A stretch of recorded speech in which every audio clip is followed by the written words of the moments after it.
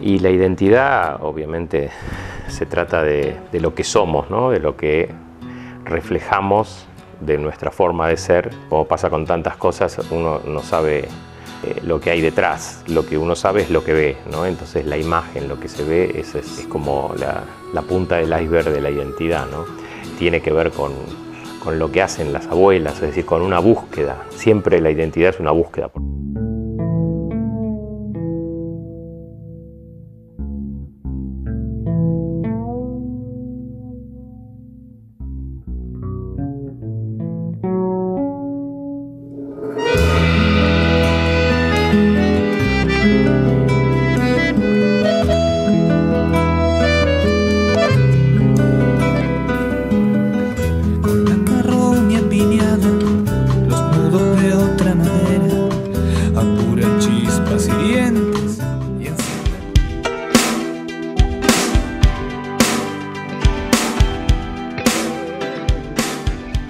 ¿Vos dudaste alguna vez de quién eras? Seguramente muchísimas veces.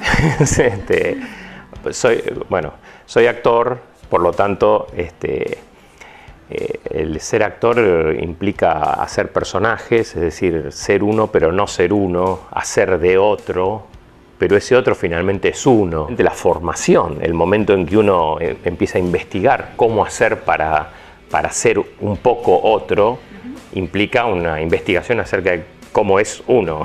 En ese camino pasan muchos momentos en los cuales uno se pregunta quién carajo es. ¿no? La construcción de todos estos espectáculos eh, viene de la mano un poco de, las abuelas de Plaza de Mayo, ustedes eh, conversan con ellas, ¿cómo es eh, toda la cocina de los espectáculos en sí? Como, y, por qué actuar? Actuar para vivir, como, dice, este, como dice la canción.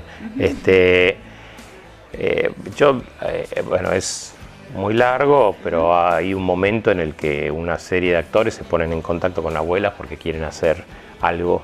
Digamos, la, el, si bien habían pasado muchos años desde el final de la dictadura, este, todavía seguía siendo como una especie de tabú la cuestión de abuelas. De hecho, abuelas ni madres nunca, allá por el año 2000, nunca habían sido recibidas por, por un presidente. La aparición de Teatro por la Identidad este, tiene que ver con una, serie de actores que dijeron vamos a hacer algo y ese algo se transformó en una explosión. En El discurso como pura bajada de línea política no entra. Respecto a, tus diversos personajes, digamos, ¿no? como director, actor, eh, ¿en cuál te sentís más cómodo, digamos? El detrás, dentro, eh, de todas maneras? Básicamente soy actor, vamos a decir.